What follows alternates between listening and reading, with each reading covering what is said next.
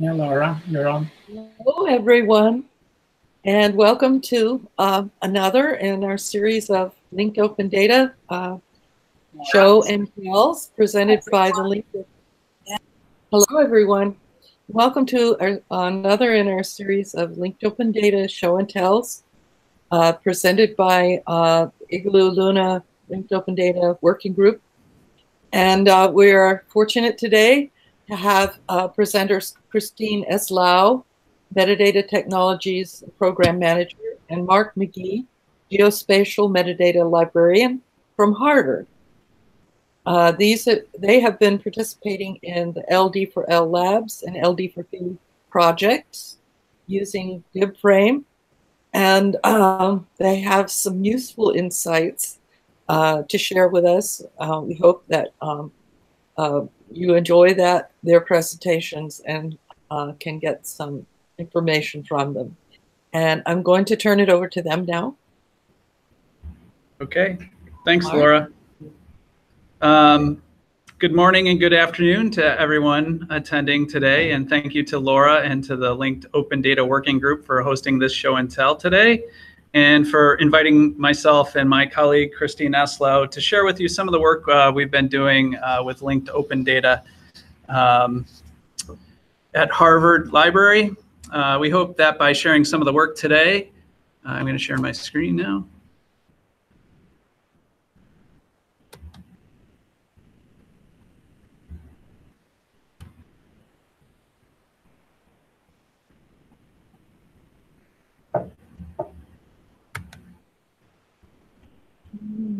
Uh, can you see my screen now? Yep. Okay, hold on a second.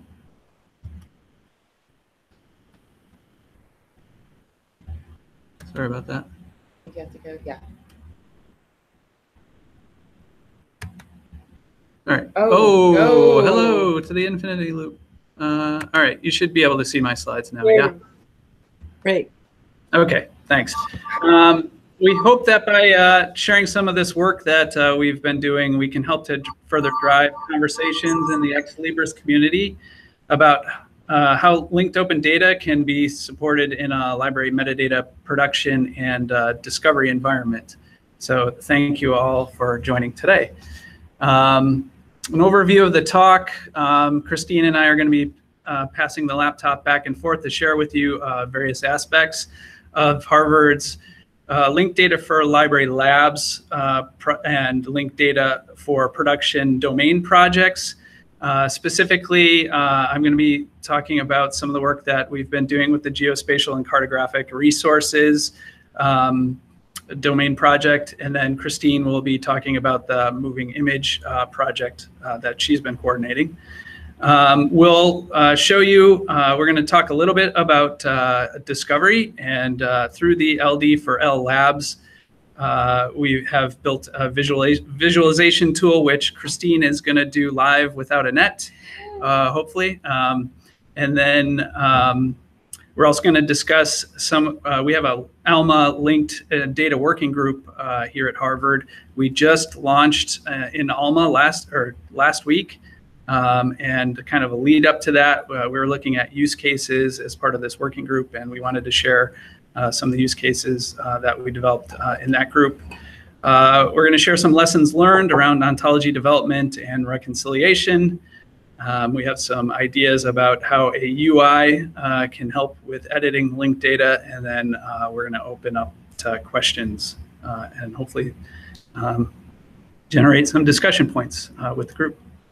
Um, so, uh, but before we can get into that, I did want to provide at least a little bit of background about the linked data for, produ for production and linked data for libraries uh, grants. Um, this provides the broader context for the cartographic materials and the moving image projects. Uh, the linked data for production, cartographic materials, and moving image projects are both part of uh, a larger Andrew W. Mellon Foundation funded project uh, the linked data for production or LD4P. Uh, the project officially launched March 2016 as a two-year project, and uh, with a three-month extension, it officially ended June 30th, 2018. So of course we completed everything on time, and uh, uh, we're still working out a few things. But uh, for the most part, we're going to present what we've accomplished today. Um, the LD4P has had six partner institutions that you can see on the screen here. Um, and, and at a high level, um, yeah, these guys here. Um, and at a high level, um, we're attempting to, you know, we were attempting to develop standards, guidelines, infrastructure to communally produce uh, metadata as linked open data uh, to develop end-to-end workflows to create linked data in a technical services environment. Um, the domain projects are looking at extending the BibFrame ontology to describe library resources in specialized domains. And then uh, a big part of that was also engaging the broader library uh, community to ensure that um, uh, some of the work is sustainable and extensible and has a life uh, beyond the, this project. Um, uh, the specialized domain projects, you probably you may have heard uh, some of them. Columbia was exploring art objects. Um, Cornell uh, exploring rare materials and um, some sound recordings. The Library of Congress was involved in uh, through their um, through their uh, cataloging. They were exploring all types of materials. Princeton was looking at annotations of their Jacques Derrida collection. Um, Stanford looking at performed music, and here at Harvard, uh, we were looking at cartographic materials. And although not technically part of the LD4P grant, also film and moving images. So, and then as you may have seen uh, on the BibFrame discussion list last Thursday, Phil Schreur at Stanford announced the next phase of the grant, which started July 1st. And it invites other institutions to participate as part of the linked data for production cohort um, in this next phase of the grant, the LD4P uh, will be partnering with the Program for Cooperative Cataloging, PCC, to help develop policies and trainings to guide a cohort uh, of participants in experimenting uh, with BibFrame-based linked data creation and a cloud-based editing environment. So uh, the grant will be developing a sandbox with which uh, PCC participants and uh, people in the cohort can um, kind of uh, play with creating linked data. And the aim, the aim is to build a sustainable community of institutions that can begin to transition from MARC based uh, cataloging to linked data-based uh, cataloging workflows. So that's the LD4P context. Um, LD, linked data for libraries labs is a sibling project that ran uh, in parallel to the linked data for production grant. Uh, and, and, in large part, um, it was about um, creating uh, and assembling tools and services uh, and approaches uh, that use linked data in a library context and to build kind of the tools and services that would support the linked data for production um, uh, environment. Uh, but also part of the labs was also looking at uh, improving discovery using and understand, you know, the use and understanding of how scholarly information resources are discovered and found. Um, it, it, intended to pilot tools and services and to create solutions uh, that can be implemented in the production uh, environment at, research libraries. And uh, I already mentioned that it was really it, it's really the kind of the tools aspect of um, and the development aspect of uh, the the two projects. And for the labs project, Harvard focused on uh, specifically on converting a couple of our local special collections into linked open data descriptions. Um, for the geospatial project, uh, we focused on um, converting Harvard Geospatial Library metadata records uh, for digital geospatial resources uh, into linked data descriptions. And then for the film project, we were looking specifically at Harvard Film Archive uh, metadata. Um, we're going to go into a bit more detail on each of these projects so that you get a sense of the type of work uh, that was involved with converting existing data, as well as how we went uh, about attempting to develop workflows and tools uh, to support natively producing linked data descriptions of resources. And then in addition to the conversion projects at Harvard, the Labs grant also supported the building of a local instance of a linked data hosting and editing environment called VitroLib. Uh, uh we'll also demo, uh, we have some screenshots of uh, some of the work we've done in VitroLib. Um, and as well, the labs supported the development of a data visualization and discovery tool, uh, which, as I mentioned, Christine will be demonstrating uh, in a few minutes. So uh, we'll start with the linked data uh, for libraries production for cartographic materials. Um, basically, the purpose of, of this was to explore best practices for creating uh, native linked data descriptions for all types of library cartographic resources from printed maps um, to born digital data sets. Um, there's a lot of information available at this wiki address um, if you want to really dive, dive into some of the work that we were doing. Um, I'm just going to give you a selection of uh, some of the types of works that, that we've been doing. Um, but the intention was really to rethink our approach to how we catalog cartographic resources in a linked data environment. Uh, you know, by using linked open data models for cataloging, what new types of questions can we ask the catalog that we can't ask now? Um, with possibilities of linked data, what changes about the way we interact with the resources when we actually have the, the, the material in hand. And I would call the project experimental, incomplete, and not necessarily prescriptive. So keep that in mind. Um, this is an example of the type of data that you might come across in our collection. Harvard Map Collection just celebrated its 200th uh, anniversary uh, two weeks ago. We had a, a big uh, reception. Um, so, you know, we have 500,000 sheet maps uh, in our collection, not, all, not all of them cataloged yet. Um, as well, We've been scanning uh, some of these maps. As you can see in the background, there is a um, there's a little there's a uh, map uh, from uh, from was 17. Let's see. Oh, sorry. From the early 1700s um, of, of Boston before uh, Back Bay was built, and you can see kind of current roads overlaid uh, over uh, this historic map. So we kind of have a we have the full range of types of data that uh, we're thinking about um, describing um, for the project. So to kind of help us um, to guide the work, um, the cartographic uh, the LD4P cartographic resources um, project, I enlisted a working group uh, made up of volunteers from across the cartographic materials cataloging and geospatial metadata library communities. And we met for two years on a bi-weekly basis. And together we identified project use cases. And uh, we kind of limited them to five researcher, three student, three librarian focused use cases. Um, that would help us guide, you know, help us um, kind of uh, evaluate uh, current models for description, mainly BibFrame, um, and um, kind of guide our what concepts we wanted to go into more detail.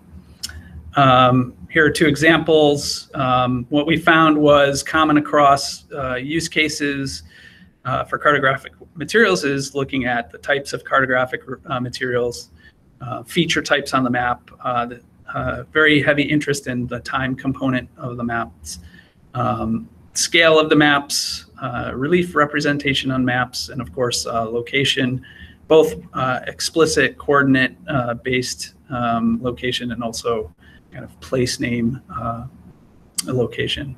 So some of these use cases also stretch the expectations of what you might normally um, uh, envision our data and catalog systems being able to answer. Um, so one one of the interesting ones I think was um, was like um, trying to align um, digital file types to software packages that could uh, be used with a particular data set. Um, we didn't prioritize that in our modeling, but I think it gives you a good idea of uh, the possibilities of what we could do with uh, different types of modeling. Um, so to that extent, um, after our discussions of use cases, the working group began to investigate concept areas of ontology modeling and you know discovered limitations to the descriptive models that we had reviewed. Um, mainly BibFrame uh, was our kind of our, our starting point for evaluation. Um, from this, we began to create a new ontology uh, the Geospatial and Cartographic Resources Ontology, or GCRO, um, to help support the descriptive areas uh, that we were interested in exploring in more depth. Uh, the Geospatial and Cartographic Resources Ontology is intended to work in combination with other ontologies to support the description of geospatial and cartographic resources. Uh, BibFrame is the foundational ontology, and G GCRO also relies heavily on Bibliotek-o which is a BibFrame extension ontology that was created by the larger LD for P uh, multi-institutional project. And we really didn't want to get into um, ontology building business. Uh, so the goal was to reuse as much of the existing linked open data ontologies uh, where appropriate. Um, examples of this uh, of ontologies being reused include RDA, uh, GeoSPARQL, the web annotations model, DCMI, friend of a friend. Um, uh, in addition to kind of evaluating existing ontologies, we also uh, we wanted to explore uh, being able to use and recommend entity vocabularies, sources that uh, perhaps are not traditionally used in standard library descriptive data. Um, so that uh, to that extent, we looked at things like geonames. You know, are there cataloging efficiencies uh, or gains to be made uh, by using different uh, entity vocabularies? Um, with geonames, rather than like LC geographic names, um, in addition to geonames being more expansive as a database, um, it also includes data points such as feature type, uh, administrative hierarchies, and population data that you might not find um, in the LC data set. So um, uh, based on these kind of modeling areas that we identified as priorities, we developed an OWL-based ontology um, and it is available as a beta version from this link. Um, it's only available, um, some caveats about this is um, it hasn't been rigor rigorously tested yet um, and may undergo significant changes as we learn more about it. Um, and it does not yet have a permanent namespace, so it only uh, currently only really exists as an OWL ontology file. Um, and there's supporting documentation um, available from the wiki that I provided earlier. Um, primary ontologies used with GCRO. Um, it's not intended to be self-contained. Um, it works in conjunction with many other ontologies that go together in describing geospatial and cartographic resources. In many cases, the recommendations of the Cartographic Materials Project will be to defer to the modeling decisions already made within other ontologies. Uh, what you're seeing here is a list of the selected descriptive areas um, and the corresponding model ontology that this project uh, had intended to use to test the cataloging of cartographic uh, resources. So, you know, work instances items, we're looking, you know, we're using the BibFrame as basis, um, activities, titles, uh, subjects, notes and annotations. Uh, we're, we're following the Bibliotek-o uh, recommendations and then uh, with the scale, these are the these are the primary areas that we described for uh, geospatial and cartographic extension, scale, relief, projection, coordinates, types of cartographic resources. And we've even re reused some RDA unconstrained, uh, for instance, for prime meridians, which was a new property added uh, fairly recently. And then we're also referring to other um, LD4P ontologies. So for measurements, uh, we we intend to use the art frame and the RareMat um, uh, guidelines for providing measurement.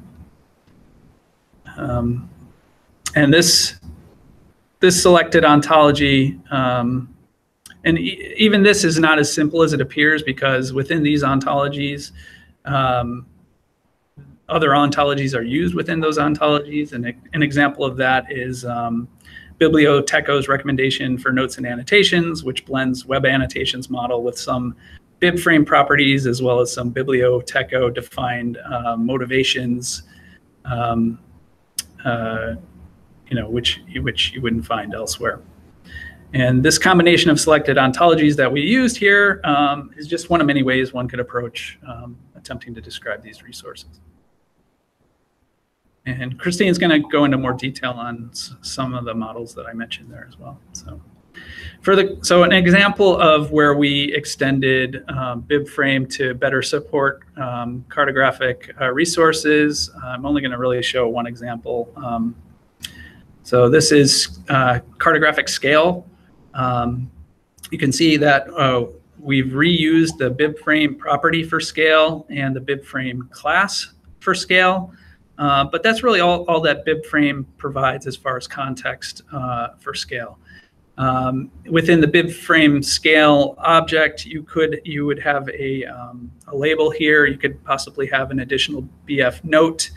Both of those um, containing literal information. And uh, what our group wanted to do was really kind of um, be able to be uh, be more descriptive. Hello, someone trying to contact. Um, be more descriptive about what we could say about a type of scale. So we added, um, you can see three properties that we added here around um, scale accuracy, scale source, um, the representative fraction denominator. So those are GCRO um, additional properties. We reused an RDA uh, element for textual information about a scale. Um, and you can see underneath the BF scale uh, class, we've added subclasses of the type of scale that we're describing. And in this way, we can be far more explicit uh, about representing the, the scale for a given um, map. And uh, the way that BibFrame is right now, um, there's no, it's not, there's no real good way to say distinguish a textual piece of information about a scale uh, versus a machine actionable number, which you can see here represented as the XSD integer. So that, that would give us, um, that's typically encoded in 034. Um, but the way that some of the, the way that the BibFrame model works, it's, it's, it doesn't have a specific home um, that really identifies it as um, machine actionable. So these are some of the things we are trying to um, represent um, for cartographic. Um, okay, so now that we have an ontology, we have ontology recommendations. What do we really intend to do with it? Uh, VitroLib is a web-based uh, linked data management tool uh, being developed at Cornell, and you're seeing an interface. You're seeing a uh, the Harvard um, geospatial version of VitroLib. It's a little light, sorry. Um, uh, but VitroLib it can be used to create and manage ontologies as well as to create and edit a linked data instance and data itself. And at Harvard, we're running local instances of VitroLib that are customized to support cartographic and geospatial resources description, as well as a separate instance to support the, the description of the Harvard Film Archive materials. And so what you're seeing here is uh, some data from the linked data for library lab sibling project of the cartographic materials extension uh, that we worked on here at Harvard. So for this project, um, we actually we, we built a converter and converted a set of 8800 Harvard Geospatial Library uh, and uh, over 5,000 Stanford Earthworks FGDC geospatial metadata records to the target BibFrame plus GCRO linked open data ontology. And we ended up with close to, you can see we have around 14,000 um, work and uh, it ended up being about 2 million triples um, from the conversion. So um, we reconciled agent names in the process, uh, topic keywords, places of publication, place keywords um, to link data entities. Um, and we exper experimented with using some different vocabularies for entities that uh, aren't necessarily always in library data. So for for places, we use geonames. So we reconciled about 16,000 occurrences of place names. Uh, for agents, we reconciled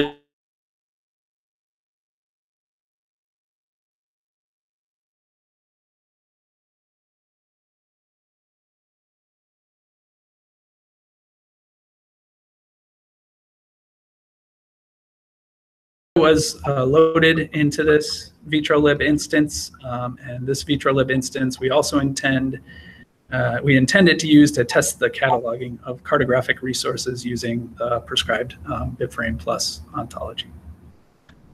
So this is, uh, this is an example of um, some customization work we did for the cartographic resources um, uh, project. Um, so you can see here there's a cartographic properties tab where we've um, we've leveraged the ontology work done for GCRO and to to um, you know use use the ontology to apply to the description of cartographic resources. Um, VitroLib is ontology driven, which means you can add existing ontologies like GCRO into the system, and with some minimal customization work, uh, you can incorporate these ontology properties and classes into the user face and then have catalogers um, just, you know, describe um, resources. Um, and so that's that's a general interview. That's a general overview of the type of stuff that we're doing for the cartographic and the geospatial project. I'm actually going to hand it over now to to Christine, who will uh, give you an overview of the film project. Hi. So um, we are going to show you a little bit more of VitroLib with the film project, but first I wanted to give you a little bit of background. Uh, we were concerned with the Harvard Film Archive data. Um, Harvard, Harvard Film Archive holds around 30, a little over 36,000 uh, film items right now, and also uh, papers and posters and other supporting materials. Um, and in the moving image domain project, uh, where we converted this, we didn't foreground community consensus quite in the way that Marc did um, in his project, but we focused on collection specific conversion and metadata production first in the hopes of producing a proof of concept for uh, local stakeholders and for a broader community reaction um, which is a way of admitting that as a non-expert in archival film, and I'm also not an employee of the Harvard Film Archive, um, I consulted with staff at the Film Archive um, and uh, and other film archives uh, to um, whose data we converted, um, but I skirted the community and buy-in processes that Marc painstakingly engaged in for his domain project. Uh, our source data is an internal FileMaker database. Oh, wait, I forgot to say what our purpose was. So uh, similarly to uh, the project that Marc just, just described, um, we were exploring and assessing issues in converting legacy metadata from moving image resources to linked data, um, and also exploring the issues in making that linked data useful for research and discovery. But we also wanted to create uh, some native linked data descriptions, um, and uh, we were especially concerned with underexposed uh, films, uh, in particular those by women directors. We also did concentrated a little bit on uh, avant-garde films. Um, I realized that the categories of women directors and avant-garde are both uh, are both a little bit problematic, but this is um, we were trying to sift out things that were not necessarily easily discoverable in uh, the systems that we currently have, um, and also just generally not as exposed in the world at large. Um, so uh, our source data was an internal FileMaker database, um, which is still in use at the Film Archive. Um, and it consists of two tables. Uh, we primarily uh, drew upon the filmographic table. You're seeing a screen cap of one tab within the filmographic table here. This uh, deals largely with content. Um, it's probably a little bit small on your screen, but you can see where, you know, it's, you know, describing the condensed feature of Taxi Driver, more, more about that later, as a fiction film, a fiction short, a short, a drama, and also as uh, a don't miss it archivist's choice um, and a print in acceptable condition. Um, so uh, the, we we primarily use the filmographic table, but there's also a table for um, uh, data that related to loans to other institutions that we drew upon a little bit as well. It's worth noting that unlike the cartographic and geospatial data, this wasn't data that was created according to widely adopted community standards and rarely, rarely included terms uh, that were recognizable from controlled vocabularies. But there's a lot of evocative data in here about um, content and physical characteristics that are important to internal workflows, um, but also you know, really expressive of the kinds of materials that are being collected here and the differences between them. Um, we could have converted some data from MARC. Uh, there's uh, about 5,000-ish descriptions that are in our library catalog uh, that were created by human catalogers. And uh, there are also finding aids, uh, but we really wanted to foreground the, the breadth and the uh, of the collection and also try to plumb its hidden depths. Um, we worked with Film Archive staff. Oh, and here's a, a shot of the um, the loan table. In this case, the condensed feature 20 minute version of Taxi Driver did get loaned out to the Anthology Film Archives for a screening in 2015. Okay. Um, and speaking of the depth of the collection, uh, here is one of the women filmmakers uh, whose work is well represented in the Harvard Film Archive, but pretty much nowhere else. This is Anne Charlotte Robertson, a local filmmaker who did autobiographical films. Um, she is a character. Okay. Um, so we worked with Film Archive staff to crosswalk terms that were used consistently within the data to terms that were uh, used more broadly in libraries, such as genres from uh, FAST and AAT, and we minted terms where necessary, relating them to existing terms in the hopes of uh, preserving some interoperability. Um, the project was also more focused on producing entities to represent agents. Um, oh, back to Anne, Anne, Charlotte Robertson, we really wanted to represent agents, um, with an emphasis on women filmmakers, uh, some of whom are locally relevant or rarely collected outside of the Harvard Film Archive. Um, other areas of emphasis included the relationship between works and individual physical items and between works and works, as the collection includes multiple copies of varying quality per work, as well as trailers, preprint footage, and various cuts for various types of releases, such as the 20 minute version of Taxi Driver. Uh, so working with the previous metadata technologies program manager, Steven Folsom, uh, who's now uh, back at Cornell, we interviewed Harvard Film Archive staff to generate use cases. Um, we kind of uh, should have limited ourselves more, uh, as Marc did.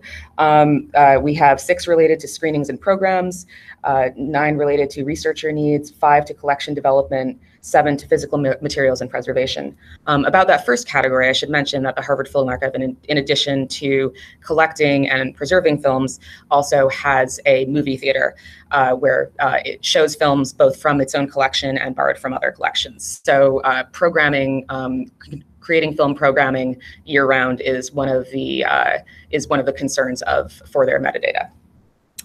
Uh, ultimately, the data we produced focuses on far fewer of these um, th these use cases, but a few of these here are um, as a creator of film programming at the Carpenter Center, I would like to identify the best projection print of a specific film that has English language subtitles. Uh, or as a researcher, I want to compare the durations of multiple film prints of The Wicker Man to each other and to other known copies of the film. This one has a, a historical precedent in that um, the Harvard Film Archive uh, several years ago um, in a fairly well-known anecdote, uh, turned out to have a print that was longer than anyone else's print of The Wicker Man. And so there were a couple, of, you know, there was like 30 seconds of The Wicker Man that no one had seen since its initial release. Um, so um, I'm not going to read all of these out loud, but I'll move on since I think we are taking more time than we initially taken when we timed ourselves. Um, okay. Um, so uh, so many, many decisions and resulting conversion processes follow a similar path to what Marc has described for geospatial data with, and I would offer analogous uh, caveats about our experiment being incomplete and not necessarily prescriptive.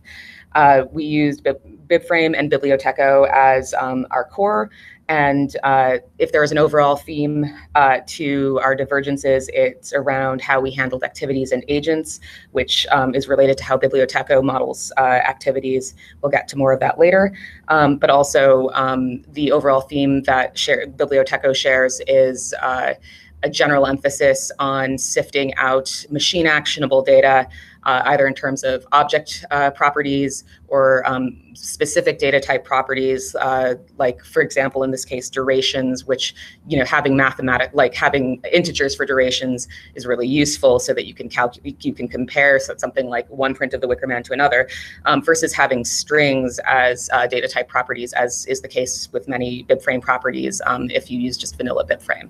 So uh, an overall theme of machine actionability, um, being um, something that we want to uh, foreground. Um, so back to, um, oh yeah, the biggest divergence aside from format specific needs is how we handled agents. Uh, agents in the film data were the exception where we did a lot of manual intervention. Um, oh, sorry, uh, here we go. Um, sorry, my slides are slightly out of order and I apologize. Uh, and Okay, we'll have to pick that up again later. Um, so uh, here's an example of where we modeled works um, and work-to-work relationships, reusing existing terms from BibFrame and RDA unconstrained properties, uh, as well as newly minted subproperties of those terms that were specific to our extension.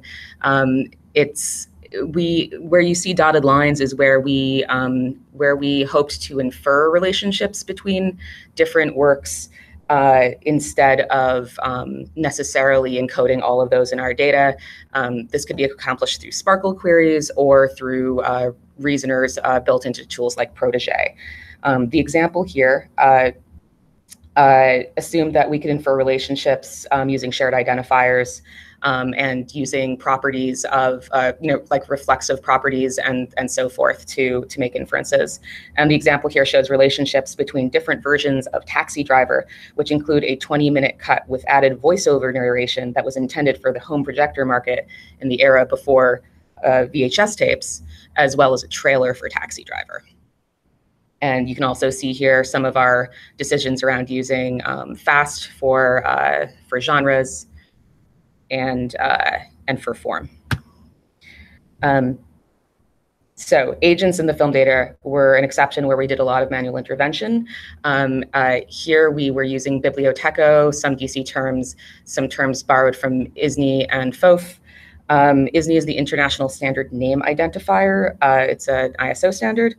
Uh, a group of catalogers at Harvard um, heroically searched and minted ISNI public identities to describe over a thousand film directors in our collection. And that was an early trial of what later became the Project for Cooperative Cataloging's uh, ISNI pilot. Uh, so some stats about conversion. Uh, we we converted about 35,000 film items uh, uh, from the FileMaker database. Uh, use those two tables to um, that we that we queried using SQL to extract XML from FileMaker, convert it into Turtle using a tool that was developed at Cornell, but customized heavily for this purpose. Uh, this resulted in around 3,600,000 triples, which uh, was the scale of it became uh, an issue for being able to uh, load it into other tools and to edit it. Um, and as I mentioned before, uh, we did a lot of reconciliation, but in particular for uh, names, we uh, did a lot of one by one uh, work using spreadsheets and then creating files to feed it into the conversion process. Um, with and we created a lot of entities in that process. So now I'm coming, coming back to VitroLib, and uh, I'm not doing a live demo here, but I wanted to step you through a couple of things that um, we customized in VitroLib so that we could enhance the data. Here is an example from Anne Charlotte Robertson's uh, collection. Uh, here, um, she did a very long multi-part film called Five Year Diary. It's literally a diary in film format from five years of her life. Uh, covers lots of cooking and hanging out and uh, for some reason standing around in a leotard a lot. Um, and uh, she also donated this to the Film Archive. Um, we, while we concentrated on entities for filmmakers, uh, often they served multiple roles. Uh, and in this in this case, they also serve the role of donor for a particular item. Um, so uh, as Marc mentioned earlier, you can, uh, for any given property, you can click on the little plus sign in VitroLib. And uh, in this case, it brings us to a customized form that we, we had a developer create uh, where you can select a particular activity type um, and choose which resource to look up an agent from. In this case, since we we're working with ISNI, uh, we would select ISNI. And so this is um, probably a little hard to read, but you can see that I've typed in Robertson, comma Anne, and uh, we're still kind of getting the hang of the ISNI APIs and how to get like uh, more. But we had our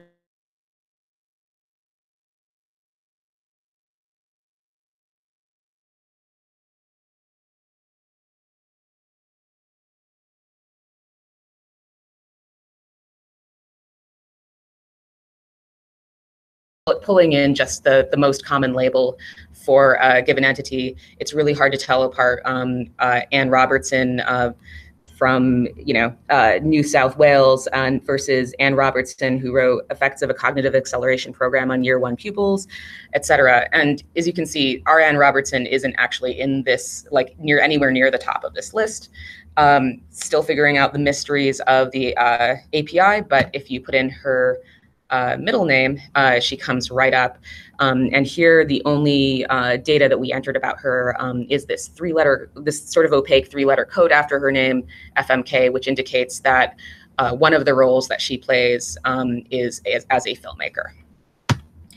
Um, and here's her record in ISNI that we created in the course of this project. Uh, another example in VitroLib is here's our uh, condensed feature of Taxi Driver. Um, we one uh, piece of data that we did not have a lot of luck converting because uh, the data was not granular enough and we didn't go down some kind of um, uh, named entity rabbit hole, uh, or we didn't have time to, um, was cast members. So here we've got, you know, cinematographers and composers and so forth listed for Taxi Driver, but not Robert De Niro. Uh, so adding a an activity, we can choose the actor role. Um, you, what you're seeing here is like a alphabetical um, fraction of the beginning of the uh, activity uh, classes that are available in Bibliotek-o. And uh, Robert De Niro, fortunately, is much easier to retrieve from ISNI than Anne Charlotte Robertson. Um, so here's uh, just a close-up of the um, Bibliotek-o uh, uh, model um, where we've zoomed in on activity, uh, just so that you can see that there's uh, there are a number of things that can be associated with an activity, and it doesn't necessarily have to be about agents. Um, an activity can have a location, um, it can have a date in EDTF format, and uh, this means that you could have a release activity, as we do in many films, that doesn't necessarily have an agent on it because we like some things are obscure and we don't know like you know who's responsible for its release, but we do know what country and what year. Uh, here's another example from uh, Taxi Driver. Uh, here we've got some some terms that we selected from RDA uh, unconstrained properties uh, and also some uh, moving image extension specific terms. So is short version of, has shorter version of, has trailer, and is trailer for. And as you can see, these don't really look like linked data properties. They don't have namespaces on them. There are spaces between the words. They look human readable. This is intentional. Uh, VitroLib has a feature called faux properties that allow you to essentially put a skin over um, something that might be opaque, like an RDA uh, unconstrained property, which just has a numerical uh, value or um, something else where you know you're trying to give it a unique identifier, but you can't always make it necessarily readable or understandable. So um, I'm just going to switch to a slide where we've turned on um, a more robust display that is intended for um, not necessarily for catalogers. So you might have to squint a little bit because there's a lot of tiny blue text here, but you can see that uh, has shorter version and is shorter version of our RDA properties. And um, in the case of has trailer and is trailer for, um, these are just human readable labels for um, the moving image extension. So MI colon is promoted by and MI colon is promote promotion for, which are kind of awkward phrasings, but make sense in a linked data context. Um, Unfortunately, so here's a dead end. Unfortunately, when we choose is shorter version of, and we'd like to choose the longer version of taxi driver, we're unable to uh, to select a known um, a known work from our data uh, because VitroLib is a little bit tricky to configure and uh, the selection of existing entities and the selection of named entities from our ontologies was an ongoing issue that we never managed to handle consistently. Um, and now that I've shown you a bunch of slides of a tool, I'm going to uh, delve into the Perilous live demo of another tool. Um, so what I'll be showing next is our attempt at a SPARQL-based foundation for showing what we hope are some expressive possibilities in the Harvard data converted in the course of these projects. Uh, apologies to anyone who already saw some version of this at Stanford's LD4 workshop this past spring. This will be a bite-sized version of the talk that I gave with Dan McCary, our visualization developer. Um, and we hope that it sparks a little discussion about what the value of seeing descriptions of resources within a spatialized representation of a collection uh, can do, and hopefully also the impact of decisions about metadata production. Uh, we wanted to demonstrate that using data from external URIs can make our data richer, uh, and that it's not all about just pulling in data from other sources, but um, but about linking. Uh, we wanted to provide a user experience that isn't about known items, but aspires to serendipitous encounters and new observations. And we wanted to give individual items context within our collection and uh, within the wider world. When we set about asking what we wanted our converted RDF uh, do for us and for users, we looked at existing UIs for our source data and existing visualizations of linked open data. I'm kind of shooting fish in a barrel here by throwing in the giant linked data graph because this is everyone's seen this before and everyone um, probably knows how tangled, how how much more tangled it gets every every passing moment. Um, but in general, they tended to be these spider webby things that we found. Um, the legacy film data um, right now has been largely accessible through keyword searches for known items and the map data through map-based spatial searches. And we wanted to move on to something that we couldn't already do with our source data, um, but existing linked data visualizations seem to express complexity um, most of all. Um, when we were when what we were interested in was uh, individual resources um, that seemed to get lost in there in these uh, tendrils a lot of our data pointed to opaque URIs, as I mentioned, um, uh, lacking labels, and no longer having access to, um, at this point in the project, we no longer had access to a developer who could modify the converted data to generate more user-friendly labels. Um, so we didn't see the labels, and, um, and in, it, in, a, in, traditional network graphs, a compelling foundation for user engagement or um, meaningful uh, manipulation of our linked data seemed really hard without um, something human readable. Uh, we wanted to utilize the connections between entities in our data, um, but what does it mean to have them, you know, vi visualized as literal webs? So our goal was to help users understand uh, resources that make up our our unique collections. Um, so how we go about that while enriching um, our understanding with data that we didn't have to create or manage locally. So the Perilous Live demo. Um, so we were asking, I don't know that we have uh, definitive answers to these questions. This is, again, not prescriptive um, and uh, experimental. But, you know, we wanted to say, you know, can we make something that looks cool without re-ambiguating what we've already taken pains to disambiguate?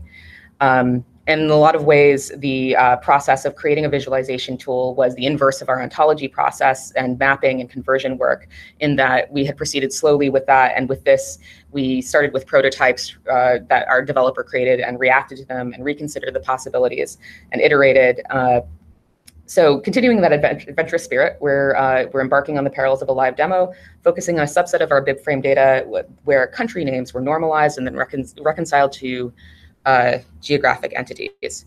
Marc, I should be able to just, um, yeah, let's see. We're gonna try to switch windows and see what happens. Okay, um, hopefully everyone can see, sees a blank, a black browser window here. Yes, okay. Um, I will take your, uh, your silence as uh, an affirmative.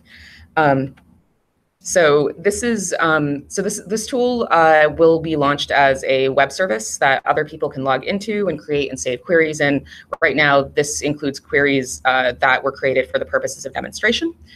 Um, so the first one I'm going to select is a query that's been saved called HFA moving image with release location.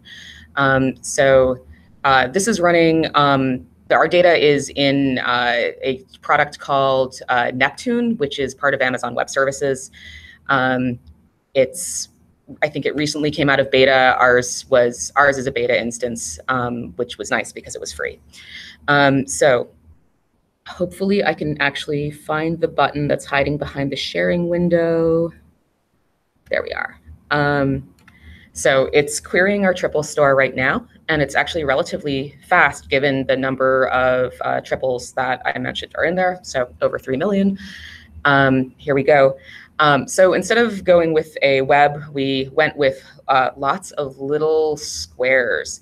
Um, and this is uh, manipulable in like three-dimensional space. We're using um, soft, uh, a language called WebGL, and it's also using taking advantage of uh, D3.js and 3.js.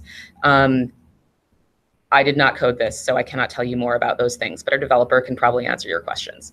Um, so as you can see, you can zoom into things, you can manipulate this, um, this chunk of items in space. And if we zoom in, hopefully we can do this with your trackpad, except Marc's trackpad is totally different than my trackpad. So um, I am at a loss here because I didn't practice this on his computer but here we go. I think we're zooming in now. Okay, so as you can see, we've got individual blocks and uh, you can see a text overlay in the top right corner. Um, this is less than ideal. Uh, WebGL is great for handling lots and lots of particles um, hanging out in space, but rendering um, lots of text at that scale uh, slows things down uh, immeasurably. So we've got this little um, this little overlay in the corner. And every time you mouse over something, you can see this is a trailer of Immortal Beloved, or this is um, uh, Hollywood on Parade. I don't know this film, um, and so forth. Uh, right now, we're just showing uh, titles. We can um, look more at the data that we brought in through this query, and it includes locations. Uh, I'm going to zoom out a little bit so that you can sort of see the overview again. And I really should have tested it on this computer. Oh my God. Um, so, um, so when we look at locations, we see geonames IDs here. Um, they're a little bit cut off um, in, on this screen. I apologize. Um, but the first one is the geonames ID for the United States. And you can see that the collection is heavily from the United States because the pixels light up um, when we mouse over this. Um, and other countries less so. But we've got these opaque IDs and no labels for them. So we're going to fix that by doing another query and then joining it with this one. Um, so we're actually uh, hitting a, uh, an API that returns JSON from uh, geonames. And we're querying it for all country names. Um, I'm going to hide the previous layer so that you can see this. So here, here is every country that's in GeoNames. And I'm going to color code this differently so that you can see it better. I'm going to go with toxic green. Um, and here we've got a lot of data from GeoNames, um, including um, hierarchical data like what continent is each country in. And you can see the pixels light up for like, you know, here are countries in Africa. And if you mouse over them, obviously you can see um, uh, the country name here is Bahamas. Um, here's its currency code, its geonames ID, its languages, its capital, and so forth.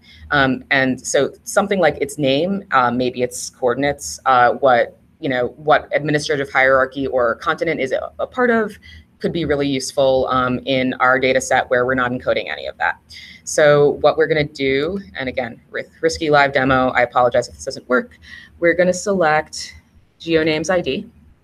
And we're going to select our previous query. And we're going to target the location property from that. Um, location isn't really the property. It's like the, the variable name from the SPARQL query. We're going to hit join. And then we're going to go back here.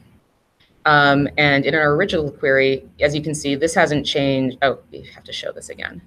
Um, so you can overlay any number of layers. I'm just going to shut off the overlays right now to make it less confusing. Um, so here you've got GeoNames IDs, and um, that's the same as it was when we first loaded it. But now you've got a ton of geographic data that's been loaded from it. So now you can see um, here are all the films um, from North America, not just the films from the United States. Here are all the films from Europe, not just specifically France. So we're taking advantage of the hierarchical data, but also now we can um, we can also see um, if I could move this over. Um, if this over, if the overlay in the top left corner was more visible, you could also see things like country name um, displayed for uh, alongside things like the title. So uh, I'm not going to spend a lot more time in this, but I do want to show one more uh, thing, um, which is I'm going to create a query for an external endpoint specifically Wikidata, to search for all early 20th century films. We didn't use any, we used very few Wikidata entities in this, in, in our conversion project, um, but one of the themes of the next LD, uh, LD4P uh, grant is going to be working with Wikidata to create entities to supplement the descriptions we're creating and linking to those. So hopefully we'll be able to take more advantage of this kind of data. So it's hitting an external endpoint it's a big query. It's taking a little bit longer. Um, and I realize that we're running out of time, so I'm going to hurry up. Um, uh, I'm going to just change this to a different color so that you can sort of see how it compares size-wise to the collection. Obviously, these are works versus items. Okay, back to presentation. Thank you for your patience. Um, how do I, oh, present. Okay, thank you. Hopefully you can see our slides again. Um, just want to say that um, the second URL on this um, on this screen is where the um, the tool, which will be freely available for probably the next year or so, at least, um, will be available sometime in the near future. watch that space. Um, and here were slides that I inserted in case things didn't work. Okay, so um, we're going to just briefly go through some lessons learned from ontology development in the hopes that we'll have time for questions. Um, it's probably trite by now to say this, but reusing existing classes and properties before minting new ones isn't just good linked data practice. It will save you lots of work. We also recommend working iteratively through the process of ontology development and especially conversion mapping, even if it feels slow. Uh, prioritizing use cases and modeling in manageable chunks is preferable to modeling and trying to convert all the data that's available to you. As your model gets more complex and your output scales up, having a UI ready to import your data so that it's readable by humans or more humans than just you, um, or so that you can, uh, or, or taking the time to thoughtfully develop SPARQL queries will help you to validate your data. Another point that may seem obvious but is worth restating uh, is that community support and ownership are needed from the outset, as is a pathway for implementation and maintenance. Reconciliation wasn't built into any of the tools in use or in development in the grant, so we were forced to create tables that mapped specific string values in our data to external entities where it was, where it was possible to do so.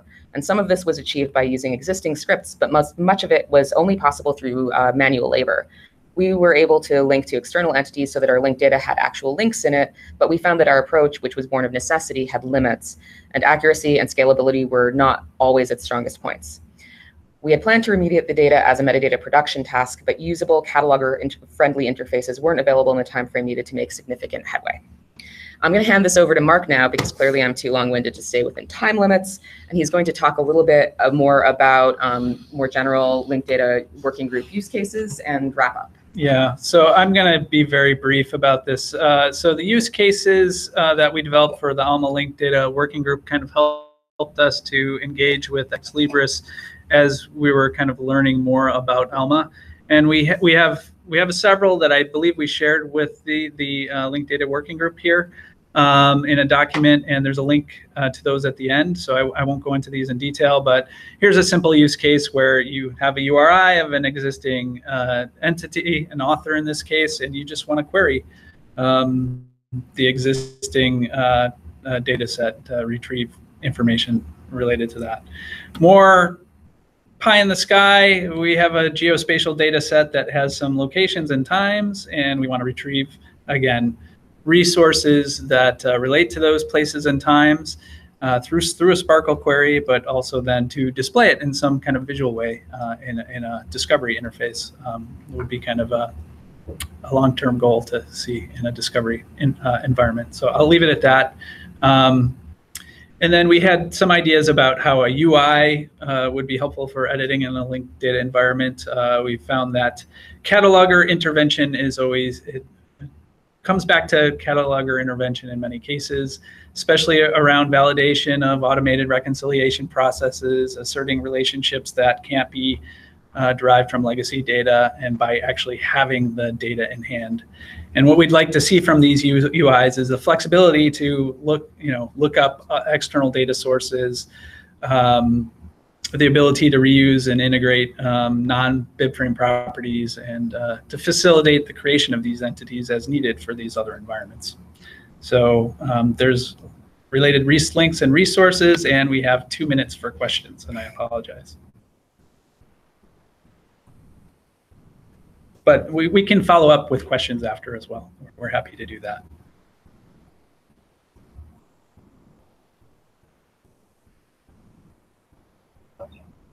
Thanks. Mehmet.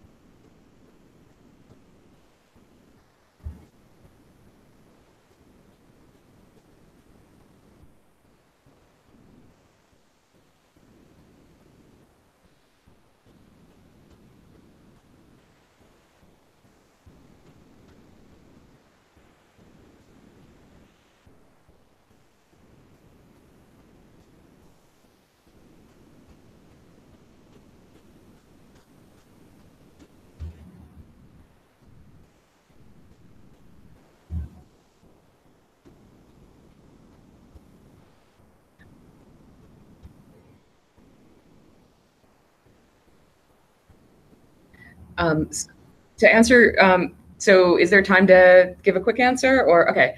Um, so to answer like, oh, what?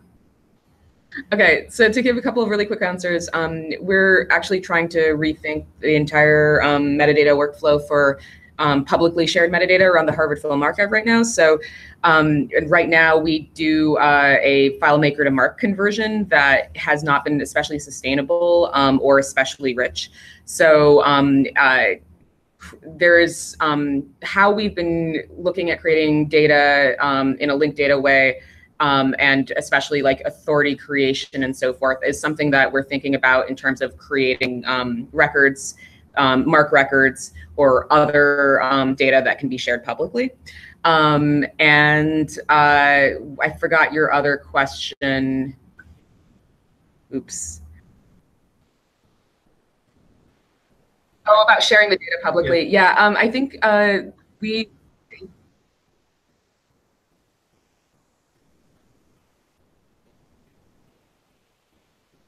Yeah. So, yeah, I mean, I think I think right now our systems can make the most use of MARC, but um, sharing the data publicly um, in a persistent way that like enables people to use it requires a commitment to infrastructure and um, and to both um, you know creating interfaces that are machine usable um, like SPARQL endpoints and or linked data fragment servers or so forth, but also um, dereference to human readable things. And um, Marc, do you want to share any thoughts about this? Or I just realized I hijacked this whole question. Yeah, we've we've talked about an infrastructure workflow at Harvard. Um, we we don't have the technical support for it yet, uh, but we looked at something like uh, LibraryCloud for linked data um, as a means of sharing. I, and I think this is a large uh, part of what the LD4P ongoing grant is going to be looking at as you know, how how do we exchange this data and how do we share it? Um, so that's going to be one of the outcomes of, of that grant.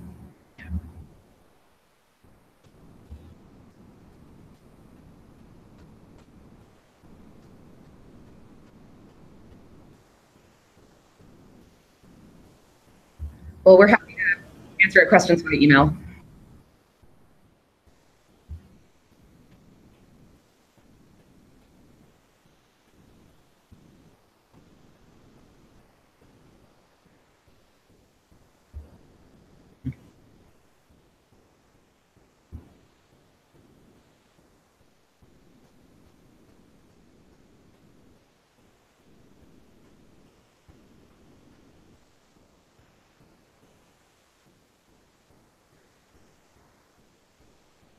We can share our slides too, Laura.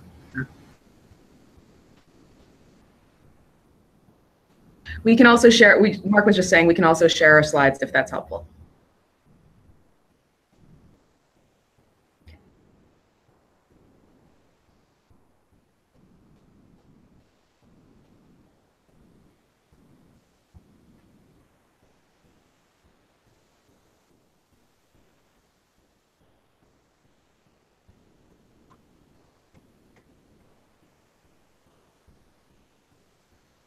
Great, thank you.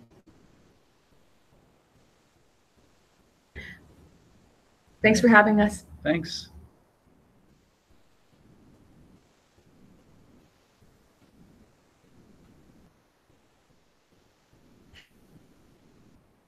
Thanks.